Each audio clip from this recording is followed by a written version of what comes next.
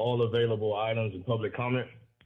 Okay, so you have three minutes for items 1 through 40, followed by a minute for general. Please begin.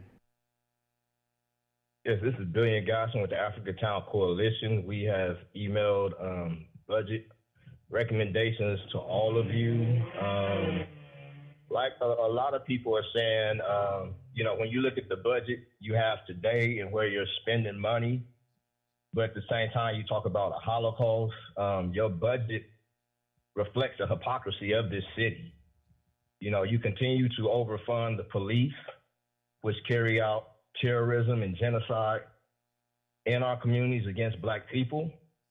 You have partnerships with banks. We know um, there were a lot of people who financed Hitler and the Nazis, but yet you have partnership with banks like Chase, Wells Fargo, Bank of America that are destroying black communities as we speak. And overall, you have failed to take care of the black people in this city. You know, we know in the Holocaust they had concentration camps.